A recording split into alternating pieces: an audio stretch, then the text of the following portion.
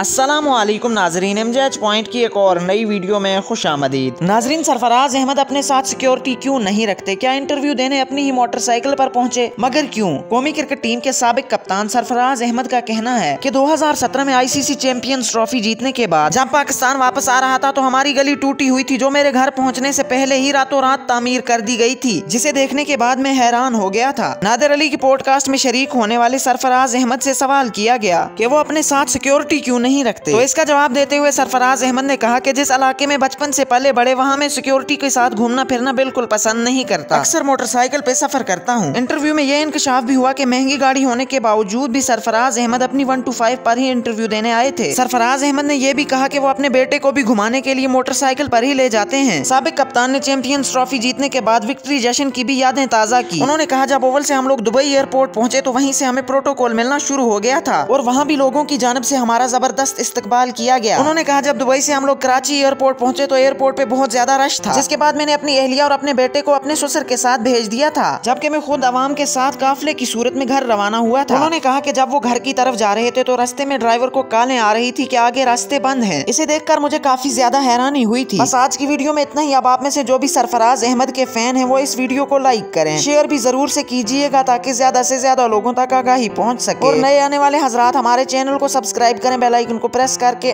all पे सेट कर दें ताकि हमारे नई आने वाली हर वीडियो का नोटिफिकेशन आपको सबसे पहले मिलता रहे